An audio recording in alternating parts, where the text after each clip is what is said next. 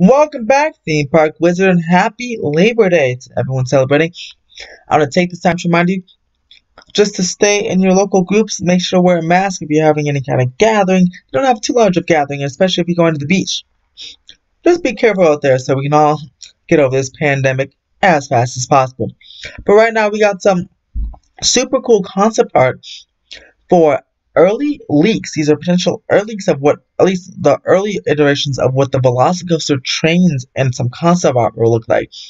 Like, that's incredible. Look at that awesome, awesome train. And in this picture, looks like at one point, the Indominus Rex was supposed to be part of this attraction. Because it is part raptor, of course, and they see a raptor, a few raptors, and the Indominus Rex with those really cool coaster trains, kind of somewhat of the Incredible Hulk trains, but like smaller, dashing through that launch channel there. And as you go on to this next concept art, or section of concept art, concept art, by the way, this is from Huckle, comma Sean on Twitter. I think he goes his name on his profile name is the Data Lorian. But the where this is where the barrel is right now, or again, the like kind of over the lake where the barrel is right now. As you see, as the uh, some early iterations of this ride had the Mosasaurus coming up and trying to eat you. Now, hopefully, in the next piece of concept art, you'll see they kind of took it away and replaced it with a barrel roll in the top gun stall.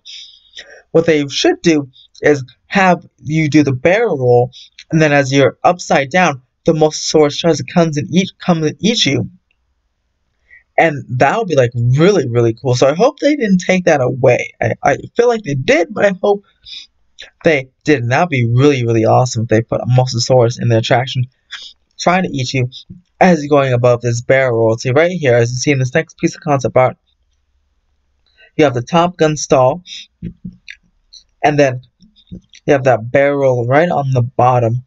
And again, if they have the Mosasaurus trying to eat you during that part, that'd be awesome. And it looks like even they had a pterodactyl I'm looking at now. I just saw this um, looking at this video right now, or this picture right now, looks like there's a pterodactyl sitting on the support of the top gun stall.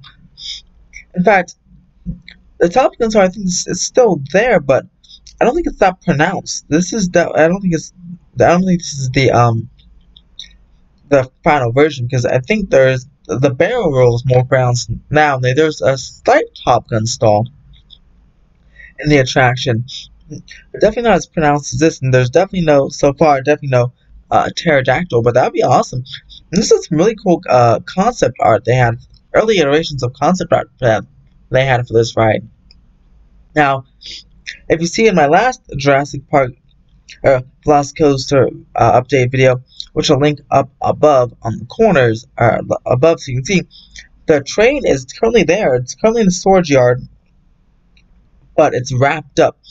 I don't know if it looks like I can't tell with the shape if it looks like the the rumored uh, iteration of earlier in this picture, but I don't know, guys. What do you guys think? Do you guys think this train looks like or could be the official train for the Velocicoaster? I think that looks like a really cool train. But what do you guys think below? Do you guys think this is uh, old concept art and none of these concepts will come back in? Do you think some of these things, maybe the Mosasaurus or even the Pterodactyl, can appear somewhere else along the ride, even even though that massive Top Gun stall isn't there? Let me know in the comments below, and let me know if you like these concepts better than the final version we seem to get right now. Thank you to at Huckle, comma Sean or the Dadaloyan on Twitter for leaking these images last week and subscribe for more theme park updates as well as more Velocicoaster news. And I'll be at Universal City Walk here in Hollywood tomorrow for an update on that Super Nintendo World. So sub subscribe for the channel for that.